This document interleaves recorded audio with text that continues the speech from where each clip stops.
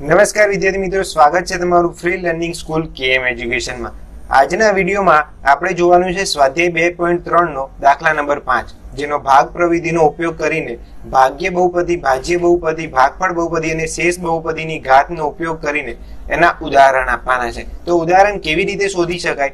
એના વિશે આજના વિડીયોમાં જોવાનું છે. પણ એ પહેલા તમને રિક્વેસ્ટ કરી દઉં કે જો તમે ફેસબુક ઇન્સ્ટાગ્રામ કે ટ્વિટર વાપરતા હોય, તો ત્યાં મને ધ મયુર કરીને સર્ચ કરજો અને ફોલો કરી લેજો. કારણ કે ત્યાં પણ આપણે એજ્યુકેશનલ પોસ્ટના પિક્ચર મૂકીએ છીએ, જેથી કરીને તમે એન્ટરટેનની સાથે નોલેજ પણ ગેઇન કરી શકો. સાથે સાથે ટેલિગ્રામ ચેનલને જોઈન કરી દેજો. જ્યાં આપણે આ દાખલાની અથવા તો ગણિત અને વિજ્ઞાનના આઈએમપી ટ્યુટોરિયલની પીડીએફ મૂકીએ છીએ, જેથી કરીને તમારે ગમે ત્યારે સોલ્યુશન કરવું હોય, તો તમે જોઈને કરી શકો છો.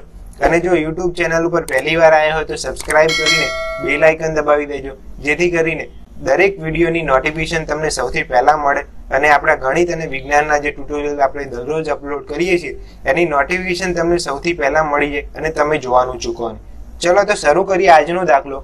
તો આજના દાખલામાં આપણે જોવાનું શું છે કે P of X G of X Q of X અને આર ઓફ એક્સ ના ઉદાહરણ આપવાના છે. તો પી ઓફ એક્સની ઘાત ક્યુ ઓફ એક્સની ઘાત ક્યુ ઓફ એક્સની ઘાત બરાબર આર ઓફ એક્સની ઘાત આર ઓફ એક્સની ઘાત બરાબર જીરો તો હવે આ બહુ પી ઓફ એક્સ એટલે એક બહુપદી છે, ભાજ્ય બહુપદી છે. ક્યુ ઓફ એક્સ એટલે ભાગફળ બહુપદી છે.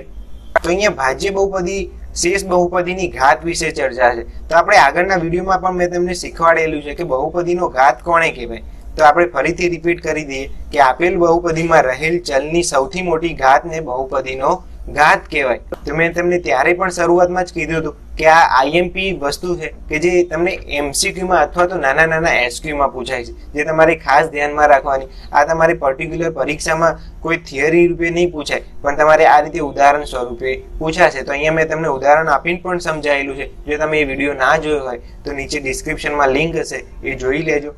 હવે આપણે જોઈએ પહેલો દાખલો, કે પી ઓફ એક્સની ઘાત બરાબર ક્યુ ઓફ એક્સની ઘાત. હવે આપણે એવી બહુપદીઓ ક્યાંથી શોધી શકીએ કે જેથી કરીને પી ઓફ એક્સની ઘાત બરાબર ક્યુ ઓફ એક્સની ઘાત થાય. તો પી ઓફ એક્સની ઘાત એટલે શું? પી ઓફ એક્સ એટલે કઈ બહુપદી કહેવાય?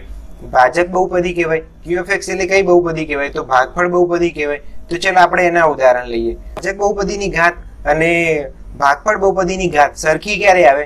જ્યારે જી ઓફ એક્સ બરાબર કોઈ અચળ સંખ્યા લઈએ. અચળ સંખ્યા એટલે કે જે ચલનો ઉપયોગ ના થાય. એક, બે, ત્રણ, પાંચ તમે કોઈ પણ બહુપદી પી ઓફ તરીકે લઈ શકો છો અને ક્યુ તરીકે પણ લઈ શકો છો. પણ એટલું ધ્યાન રાખવાનું કે ક્યુ ઓફ કરતા, એટલે કે ક્યુ ઓફ વડે આપણે પી ઓફ એક્સ ને ભાગીએ છીએ, એટલે પી ઓફ એક્સ બહુપદી મોટી હશે. તો આપણે જે ક્યુ ઓફ એક્સ બહુપદી લઈએ, કોઈ પણ બહુપદી લઈએ, એની અચળ સંખ્યા વડે ગુણવાના. અને એટલી ગુણીને જે સાદરૂપ આપતા મળે, એ આપણી પી ઓફ એક્સ બહુપદી બની જાય. તો જી ઓફ એક્સ બરાબર શું થાય? અચળ સંખ્યા થાય. અને જો આ પી ઓફ એક્સ બહુપદીનો કોઈ અવયવ ક્યુ ઓફ એક્સ આપણે લઈએ, તો ઓબ્વિયસલી અવયવ જ થવાનો. કારણ કે ક્યુ ઓફ એક્સ ને આપણે કોઈ પણ અચળ સંખ્યા વડે ગુણીએ, તો આપણને જે સાદુરૂપ આપીશું, એ એનો એક પી ઓફ એક્સ નો અવયવ થશે ક્યુ ઓફ એક્સ માટે શેષ કેટલી વધે? જીરો તો સિમ્પલ ઉદાહરણ છે.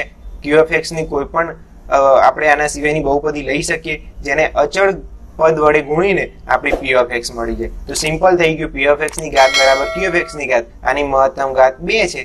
આની મહત્તમ ઘાત બે છે. માટે બહુપદીની ઘાત બંનેની કેટલી થઈ? બે બે. તો સરખી થઈ ગઈ. અહીંયા ત્રણ ઘાત વાળી પણ બહુપદી તમે લઈ શકો, અથવા તો સુરેખ બહુપદી પણ લઈ શકો. ચલો તો આપણે દાખલા નંબર બે જોઈએ.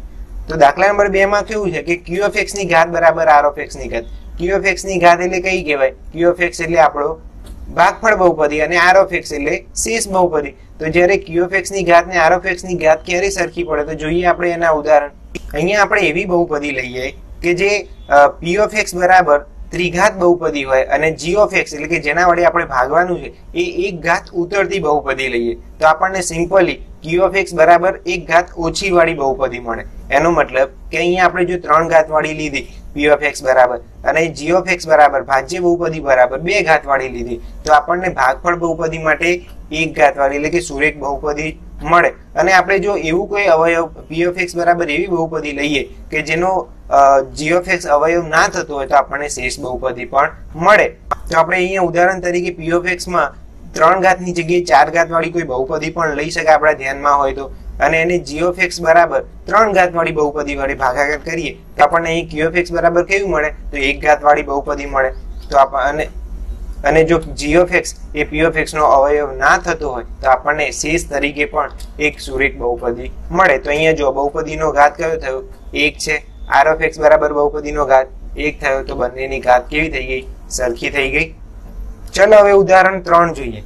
તો ઉદાહરણ ત્રણમાં તો કેવું કહે છે? કે આર ઓફ એક્સની ઘાત બરાબર જીરો અહીંયા ગણિતનો એક બેઝિક નિયમ યાદ રાખજો કે કોઈ પણ ચલ હોય કે અચલ હોય, એની જીરો ઘાત લઈએ એટલે કે એની કિંમત કેટલી મળે? અચળ પદ મળે. એટલે કે એક્સની જીરો ઘાત લઈએ તો આપણને વેલ્યુ વન મળે. બે ની જીરો ઘાત લઈએ તો પણ આપણને વેલ્યુ એટલે કે કોઈ પણ ચલ કે અચલની આપણે જીરો ઘાત લઈએ તો આપણને કિંમત કેટલી મળે? એક મળે. તેવું ક્યારે શક્ય બને? તો જ્યારે આર ઓફ એક્સ બરાબર આપણે કોઈ અચળ પદ લઈએ ત્યારે એની ઘાત જીરો થાય. તો અહીંયા આર ઓફ એક્સની ઘાત કેટલી લેવાની છે? જીરો તેવું ક્યારે શક્ય બને? તો જો પી ઓફ એક્સ બરાબર ત્રિઘાત બહુપદી લીધી જી ઓફ એક્સ બરાબર દ્વિઘાત બહુપદી લીધી. તો આપણે સિમ્પલ ભાગાકાર કરીએ તો આપણને ક્યુ ઓફ એક્સ ભાગફળ બહુપદી બરાબર સુરેખ બહુપદી મળવાની છે. અને શેષ બરાબર આપણને અહીંયા ચાર મળે છે. તમે આવું કોઈ પણ ઉદાહરણ બીજું લઈ શકો છો. પણ અહીંયા જો આર ઓફ એક્સ બરાબર શેષ ચાર મળ્યો. અહીંયા કોઈ એક ઘાત કે દ્વિઘાત કે ત્રિઘાત વાળું પદ છે. નહીં, આમ આપણે જોઈએ તો અહીંયા ત્રિઘાત બહુપદી લીધી એમાં ઉતરતો ક્રમ જોઈએ તો આ ત્રણ ઘાત, બે ઘાત, એક ઘાત અને જીરો ઘાત. જીરો ઘાત એટલે કે અહીંયા એક્સની જીરો ઘાત કરીએ તો શું થાય? વન મળે આપણે હમણાં જ વાત કરી. તો એક ગુણ્યા બે કરીએ તો બે જ મળે. એટલે કે અચળ પદ જ મળવાનું છે. એના માટે કે આપણે કહી શકાય કે આર ઓફ એક્સની બહુપદીની આર ઓફ એક્સમાં જે બહુપદી લીધી છે, એની ઘાત કેટલી હશે?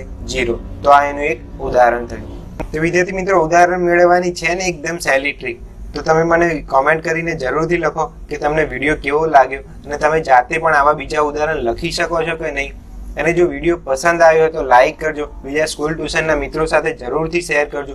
જેથી કરીને એ લોકો પણ આ વિડીયોનો લાભ લઈ શકે. અને જો ચેનલ ઉપર પહેલી વાર આવ્યા હોય તો સબસ્ક્રાઇબ કરીને બેલ આઇકન દબાવી દેજો. જેથી કરીને દરેક ગણિત અને વિજ્ઞાનના ટ્યુટોરિયલની જે નોટિફિકેશન છે તમને મળી રહે અને તમે વીડિયો જોવાનું ચૂકો નહીં તો મળીએ એક નવા વિડીયોમાં ત્યાં સુધી વાંચતા રહેજો લખતા રહેજો અને શીખતા રહેજો.